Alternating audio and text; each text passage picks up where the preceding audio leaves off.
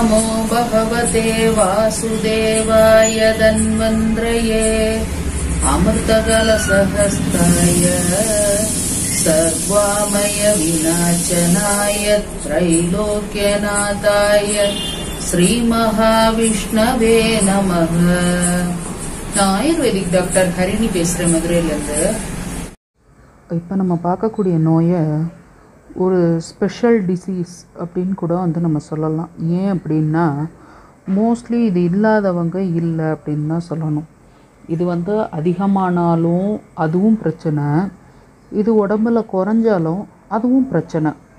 அப்படி இருக்கக்கூடியது என்ன அப்படின்னு பார்க்குறீங்களா? பிரமேகம் அப்படின்ற நோயை பற்றி தான் பார்க்க போகிறோம் இதை வந்து நார்மல் இங்கிலீஷில் கொலக்கியல் லாங்குவேஜில் சொல்லணும் அப்படின்னா சுகர்னு சொல்லுவோம். மெடிக்கல் டேர்மில் சொல்லணும் அப்படின்னா டயபெட்டிஸ்னு சொல்லுவோம்.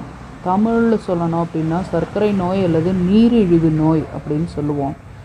இந்த பிரமேகத்தை ஹிந்தியில் சொல்லும்போது மதுமேகம் அப்படின்னு வந்து சொல்லுவோம். சம்ஸ்கிருதத்தில் சொல்லும்போதும் இதை மேகம் அப்படின்னு வந்து சொல்லுவோம்.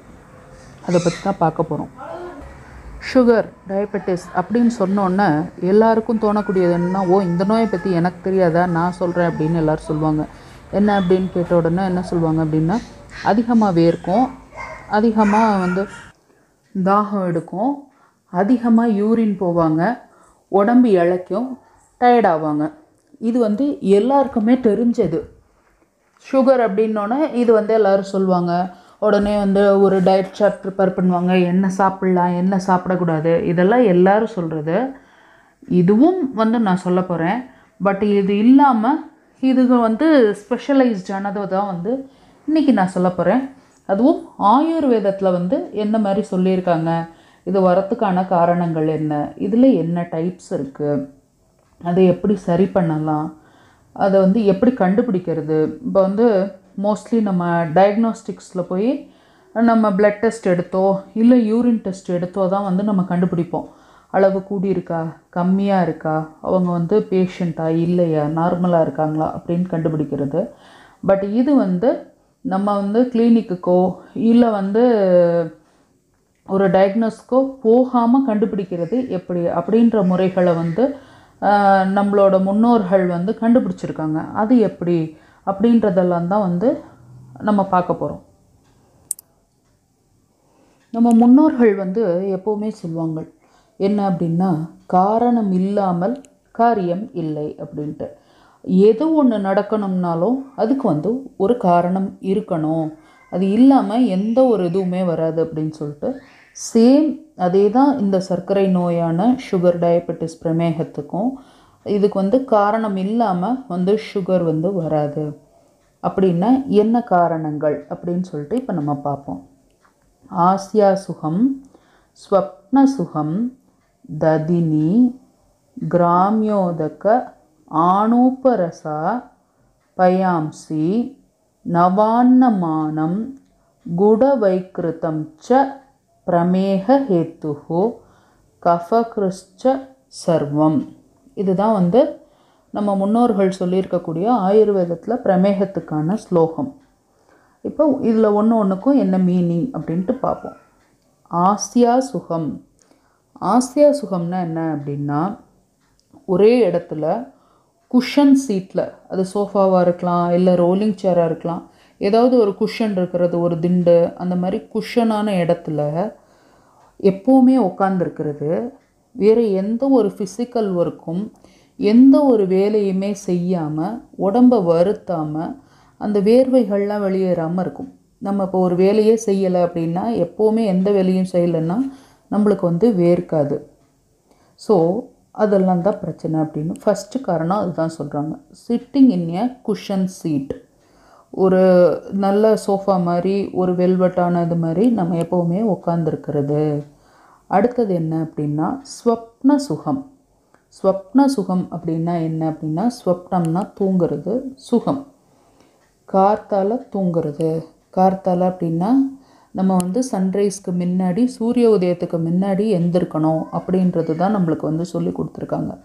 அதாவது சூரிய உதயத்திற்கு பின்பும் தூங்குறது இது ஒரு காரணம். இதுலேயே ரெண்டாவது என்ன அப்படின்னா சில பேர்லாம் மத்தியானம் சாப்பிட்ட உடனே வந்து தூங்குவாங்க. அது ஒரு காரணம். மூணாவது என்ன அப்படின்னா சாப்பிட்ட உடனே எந்த சாப்பாடாக இருந்தாலும் சரி ஒரு பிரேக்ஃபாஸ்ட்டாக இருக்கலாம் இல்லை லஞ்சாக இருக்கலாம் இல்லை டின்னராக இருக்கலாம். இந்த மூணுமே சாப்பிட்ட உடனே தூங்குறது தான் வந்து ஸ்வப்ன சுகம் சொல்லுவோம். அதே மாதிரி ரொம்ப நேரம் தூங்குறதும். இப்போ வந்து சொல்லணும் அப்படின்னா ஒரு six hours to eight hours வந்து நம்மளுக்கு வந்து தூங்குறதுக்கான டைம் அப்படின்னு சொல்லியிருக்கோம். மோர் தென் தட் அதை விடவும் அதிகமாக தூங்கும் பொழுது ஒரு பத்து மணி நேரம் பன்னெண்டு மணி நேரம் அதை விட அதிகமாக ஒரு பதினஞ்சு மணி நேரம். இப்போ நம்மளுக்கு ஒரு லீவே வருது அப்படின்னா நம்ம என்ன பண்ணுவோம் அப்படின்னா சாப்பிட்டு சாப்பிட்டு தூங்குறது மட்டுமே தான் செய்வோம். ஸோ அதை தான் வந்து ஸ்வப்ன சுகம் sleeping during day time for long hours அப்படின்றது தான் வந்து இந்த ஸ்வப்ன சுகம் அப்படின்றது சொல்கிறது ஸோ ஃபஸ்ட்டு ஆசியா சுகம் குஷன் சீட்டு அந்த மாதிரி சீட்டில் உட்காந்துருக்கிறது செகண்ட் வந்து ஸ்வப்ன சுகம். தூங்குறதுல வந்து ரொம்ப சுகமானது. அடுத்தது ததினி. தயிர் வந்து ரொம்ப அதிகமாக சாப்பிடும் பொழுது நம்மளுக்கு வந்து இந்த டயபெட்டிஸ் வரும் அப்படின்னு சொல்லியிருக்காங்க. அப்போ நாங்கள் தயிர் சாப்பிடக்கூடாதுன்னா இப்போ இந்த மோர் சாதம் தயிர் சாதமே சாப்பிடக்கூடாது அப்படின்னு கேட்டால் கிடையாது. தயிர் வந்து சாப்பிடக்கூடாதுன்னு தான் சொல்லியிருக்கோமே தவிர மோர் சாப்பிடக்கூடாதுன்னு சொல்லலை. அதுவும் தயிர் யார் சாப்பிடக்கூடாது அப்படின்னு பார்த்தா இந்த மாதிரி ரொம்ப ஒரு குஷன் சீட்லேயே உட்காந்து எந்த ஒரு ஒர்க் அவுட்டோ வேலையோ செய்யாதவங்க ரொம்ப நேரம் தூங்குறவங்க அந்த மாதிரி இருக்கிறவங்க தயிர் சாப்பிடக்கூடாது. அதே ஒரு ஒரு தேர்ட்டி இயர்ஸ்க்குள்ளே இருக்கிறவங்கன்னா சாப்பிட்லாம். அபவ் தேர்ட்டி அப்படின்ற போது சாப்பிடக்கூடாது. என்ன காரணங்கள் அப்படின்னு பார்த்தீங்கன்னா இந்த தயிர் அப்படின்றது கபத்தை கூட்டக்கூடியது. அப்போ இந்த தயிராக சாப்பிடாம இதை வந்து தயிர்ன்றது பார்த்திங்கன்னா ஒரு செமி சாலிட் கன்சிஸ்டன்சியில் இருக்கும். அதை வந்து லிக்விட் கன்சிஸ்டன்சியாக மாற்றி நம்ம சாப்பிட்டுக்கலாம். அப்போ எப்படி அப்படின்னு கேட்டிங்கன்னா ஒரு அளவு தயிர் எடுத்தீங்க அப்படின்னா அதுக்கு ஏழு அளவு தண்ணீர் கலந்து சாப்பிட்லாம். இந்த மோர் எப்படி பண்ணணுன்ற லிங்க்கை வந்து நான் இதில் அட்டாச் பண்ணி விடுறேன் ஸோ தயிராக சாப்பிடக்கூடாது பட் வந்து மோராக சாப்பிட்லாம். இந்த தயிருக்கும் மோருக்கும் தயிராக சாப்பிடும் பொழுது அது கபத்தை கூட்டக்கூடியதாகவும் மோராக சாப்பிடப்போது அது வாதத்தை கூட்டக்கூடியதாகவும் இருக்கும். ஸோ மோர் வேற தயிர் வேற. அடுத்து கிராமியோதக ஆணோபரசக அப்படின்னா என்ன அப்படின்னா இந்த நான்வெஜ் ஃப்ளஷ்ஷுன்னு சொல்லுவோம்ல ஃப்ளஷ்ஷான மீட்டு அதே மாதிரி இந்த நீர்நிலைகளில் இருக்கக்கூடிய மீட்டை வந்து அதிகமாக சாப்பிடும் பொழுது அது வந்து உள்ளுக்குள்ளே போய் டைஜஸ்ட் ஆகாமல் இருக்கிறதுனால உங்களுக்கு சுகர் வர காரணமாக இருக்கும்.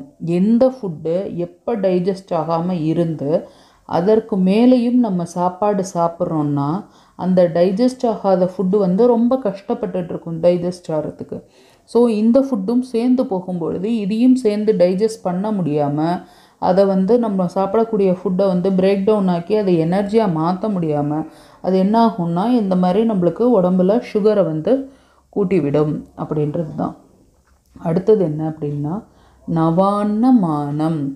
நவம் அப்படின்னா புதுசு அன்னம் அப்படின்னா அரிசி. நவான்னமானம் அப்படின்னா புத்தரிசின்னு சொல்லுவோம். புது அரிசி. ஹார்வெஸ்ட் பண்ணி உடனே வந்தது. அறுவடையிலேருந்து உடனடியாக வந்த அரிசி. நம்ம வந்து எப்போவுமே என்ன சொல்லுவோம் அப்படின்னா பழைய அரிசியை சாப்பிடணும். பழைய சாதத்தை சாப்பிட்ணுன்னு சொல்லலை பழைய அரிசியை சாப்பிடணும்.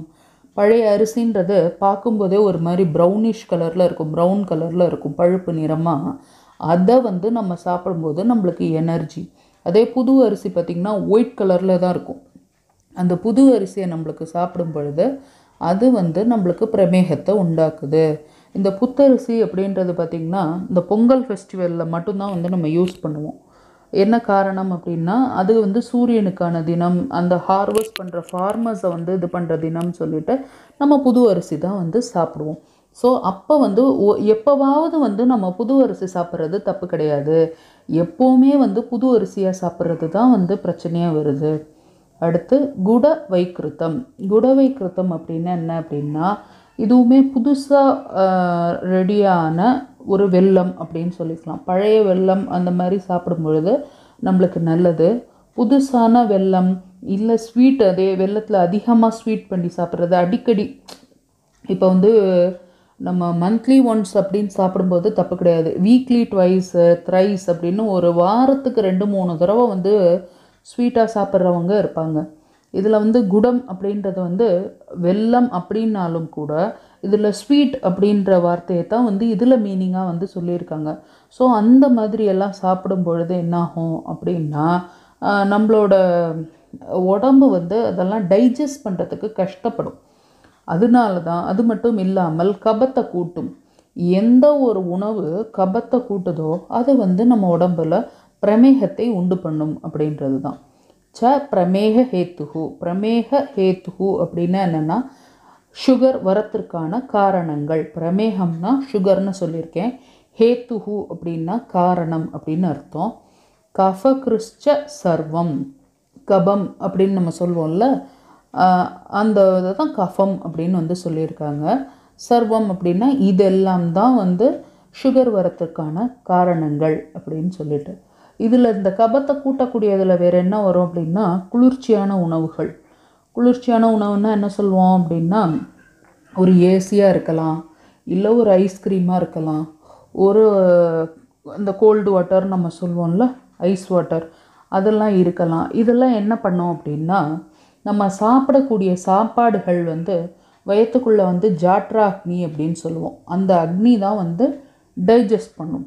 நம்ம இந்த மாதிரி குளிர்ச்சியான பதார்த்தங்கள் வந்து சாப்பிடும்பொழுது அந்த அக்னி வந்து சின்னதாகி சாப்பாட்டை வந்து ஜெரிக்க விடாமல் பண்ணிடும். ஸோ சாப்பாடு ஜெரிக்காமல் முக்கியமாக வரக்கூடியதான் இந்த பிரமேகம். சாப்பாடு வந்து எப்பொழுதுமே சாப்பிட்ட உடனே ஜெரிச்சிடணும் ஒரு டூ அண்ட் ஆஃப் ஹவர்ஸில் அது ஜெரிக்கலைன்னா தான் அது பிரச்சனை. இதில் நிறைய பேர் என்ன பண்ணுவாங்க அப்படின்னா சாப்பாடு ஜெரிக்கலை அப்படின்னு சொல்லிட்டு ஒன்று ஏதாவது டைஜஸ்ட் ஆகிறதுக்கான இந்த ஜெலுசில் டைஜின் அந்த மாதிரி வாங்கி சாப்பிட்றவங்க இருக்காங்க. இல்லை அப்படின்னா செகண்ட் கேட்டகரி என்ன அப்படின்னு பார்த்தீங்கன்னா சோடா அது உப்பு சோடாவாக இருக்கலாம் இல்லை பன்னீர் சோடாவாக இருக்கலாம். அந்த மாதிரி சோடா வாங்கி சாப்பிட்றவங்க இருக்காங்க. மூணாவது கேட்டகிரி பார்த்திங்கன்னா லெமன் ஜூஸில் அதிகமாக சுகரோ இல்லை சுகர் சிரப்போ போட்டு சாப்பிட்றவங்க இருக்காங்க.